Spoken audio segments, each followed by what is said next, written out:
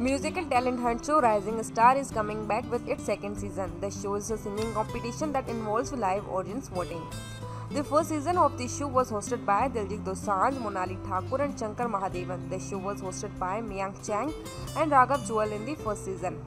For the second season, the mentor have been retained while the host would be the same.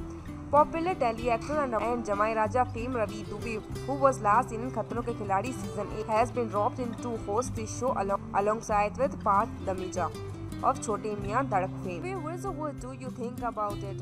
Let me know in the comments below. Keep watching Tellymirch for more latest news and updates about your favorite shows. Don't forget to subscribe the channel, to like the video and share this video.